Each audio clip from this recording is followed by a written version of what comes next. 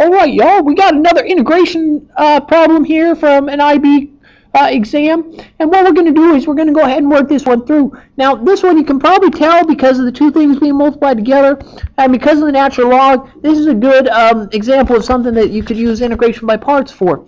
It's also something you could use substitution for, and I'll show you that way too. In fact, I like you guys, so I'm going to show you two ways to do this. And then you're going to be like, oh, ooh, and ah, and ooh, I didn't know I could do that. And ooh, that's so cool, Mr. Bauer. So we're going to go ahead and work through this in two different ways. All right, so let's just go straight up integration by parts first. Okay, so of course, our v prime is going to be the t, and our u is going to be the natural log of t plus 1. Reason for that being, I can take the derivative of this, I can't take the integral of this, at least not in an easy, nice fashion. And so we're going to go ahead and start with that. So here we go. We're going to go u equals natural log of t plus 1, which means that u prime equals 1 over t plus 1. And I'm okay with that. And then I don't know what v is yet, but v prime is t. So that means that v is 1 half t squared.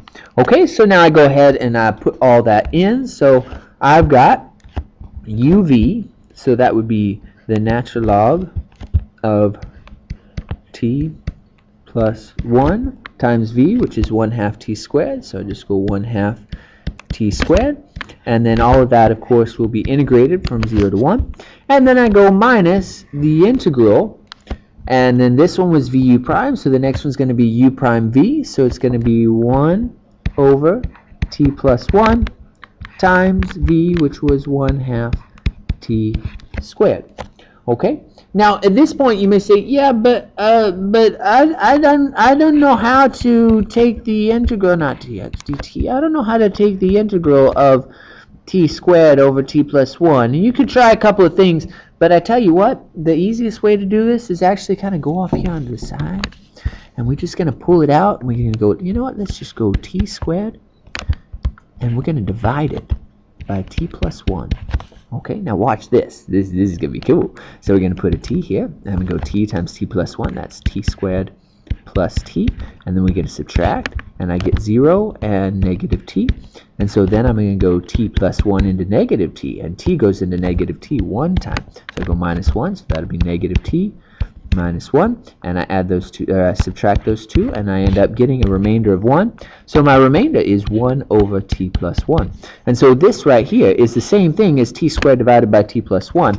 And so when I rewrite my problem, I'm going to have the integral of 1 half t squared natural log of t plus 1 integrated from 0 to 1.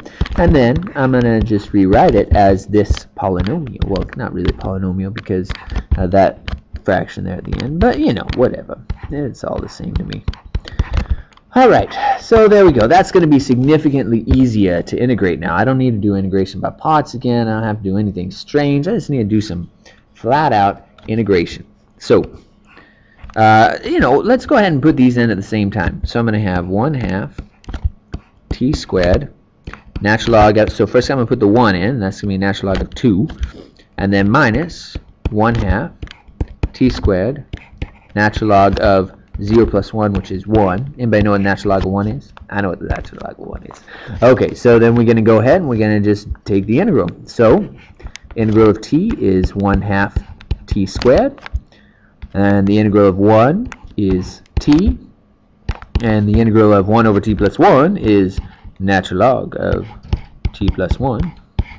And then we're going to integrate from 0 to 1. So let's not get too confused. This, of course, natural log of 1 is 0. So that right there is going to go away. Holy smokes, did I really forget to put that that 1 in there? So I put the 1 in and I got a, I got a 1 squared. So that's going to be 1 half natural log of 2. Yeah, I'm, good at math, but obviously not brilliant all the time. So then we, uh, we're going to go ahead and we'll put the 1 and 0 in there. So we'll go 1 half times 1 squared minus 1 plus natural log of 1 plus 1. So natural log of 2. Alright. And then we'll put the 0 in. So then we'll go minus 0, 0, natural log 1 All right, so easy enough. Uh, all right. And, oh, holy smokes, I just realized, I'm so sorry, I forgot to put this one half. I totally left it out when I did that division. We should have a one half there, which means we should have another one half there, which means we should have another one half there. I apologize. I'll go make this video over someday when I have time, which is going to be never. So then we got 1 half natural log of 2 minus 1 fourth plus 1 half minus natural log of two, uh, 1 half natural log of 2 and of course natural log of 1 is 0. So these two cancel out leaving us with 1 half minus 1 fourth which is 1 fourth. And so there you go. You got your answer. One fourth. It's unbelievable how something this crazy can end up being so simple, like one fourth. That just blows my mind. Okay, as promised, I'm going to show you another way to do this one. So here we go. Here we go. Here we go. We're going to just go. We're going to do a little U substitution this time. We're going to just do a little substitution because some people say, ah, natural log of t plus 1. That's kind of crazy. I have a difficult time with that. So what we're going to do is we're going to go U equals t plus 1 no problem, right? So we're going to make u equal to t plus 1. And so we're going to rewrite our integral now. That means that t equals u minus 1. It also means that dt equals du. Now that was easy, right?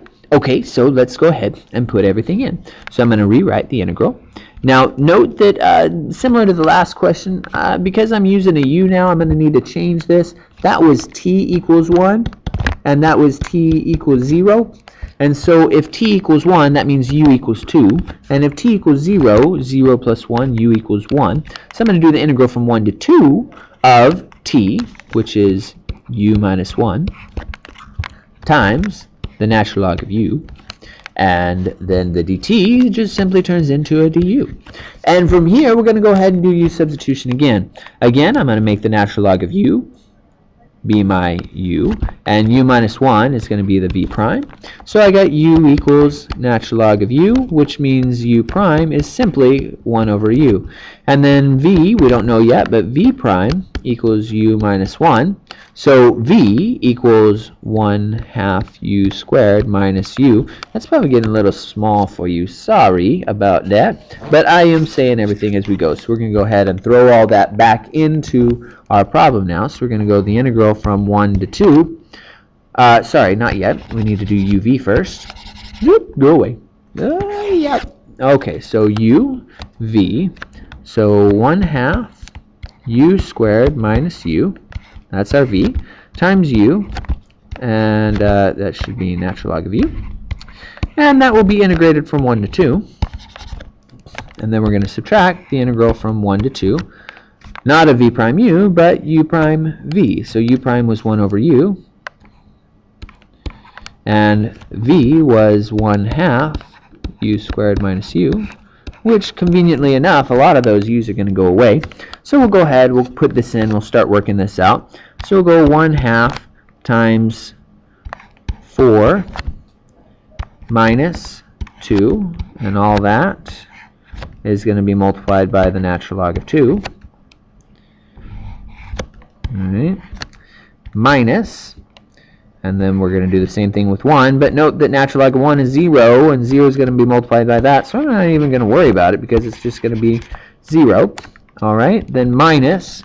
Then I'm going to rewrite this in one more step. So from 1 to 2, and we'll distribute the 1 over u, which will give us 1 half u minus 1 du, and that's an easy integral, right? So 1 half of 4 is 2 minus 2, which is 0, times natural log of 2 will be 0. So I'm just going to end up with negative, and then uh, integrate. So u would be u squared, and put the 1 half in front, so 1 over 4 u squared, minus u, integrated from 1 to 2, and we just put the numbers in. And so it should be fairly straightforward to, to put those numbers in and we end up with negative 1 over 4 times 4, 2 squared, minus 2 Okay, so that'll be our first set right there. Yeah, let's just go ahead and put that in brackets. So that's the 2 minus 1 over 4 times 1 minus 1. And so there's the end. And so we just kind of work that out. 1 fourth of 4 is 1 minus 2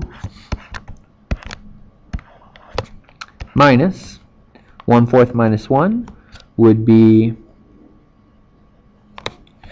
negative 3 fourths. And so minus negative 3 fourths would be plus 3 fourths. And we go 1 minus 2, which is negative 1, plus 3 fourths is negative 1 fourth, and you got the negative in front, which gives us our final answer, again, of 1 fourth. Ta-da! So that's not bad. I did it two ways in 10 minutes, 11 minutes, and it was 6 marks, and I did a lot of talking there. Anyway, there you go.